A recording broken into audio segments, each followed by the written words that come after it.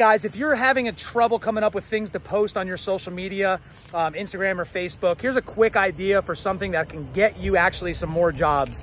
Um, if you could get a happy client right when you're wrapping up a remediation job to leave you a testimonial, and I mean a video testimonial, meaning they're pulling out their phone just like I'm doing right now and making a video on how great their experience was working with your restoration company, that is worth its weight in gold. Forget a Google review, forget anything like that. If you can have that testimonial for somebody else talking about how great of a company you are, you're gonna see a big increase in conversions and click-throughs when you post it and syndicate it on your blog, on your website, on your Instagram, on your Facebook, on your Twitter, and on your Google My Business as a post. So get out there and try to identify a client that you think will give you a great testimonial, get them on camera, and you will see an increase in leads. We'll talk to you soon.